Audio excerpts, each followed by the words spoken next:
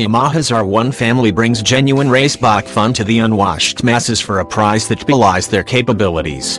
The base model R1 and its even more race-tastic M variant come with MotoGP level performance, and indeed are actually set up to be quickly converted for track use, so these are no poser bikes, not by a long shot.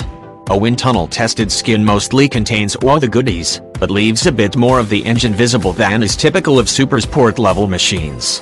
It's built to offer minimal resistance to penetration as any good race bike should, but the factory takes advantage of the ram air effect and uses it to deliver a higher volumetric efficiency than is possible with a naturally aspirated engine. Tiny LED headlights take care of business from their unobtrusive little niches at the top of the cowling scoop, and since the turn signals come integrated with the mirrors, they add no extra drag of their own. Plus, it's really convenient if you want to strip the bike down to its race weight for a track day.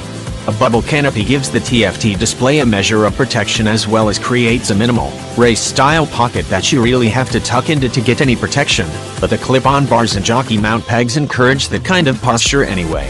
In fact, if you plan on using this as a street bike commuter, you should be aware that this isn't like a standard model that will let you push off for an almost upright posture, you're going to be almost locked into Superman mode at all times.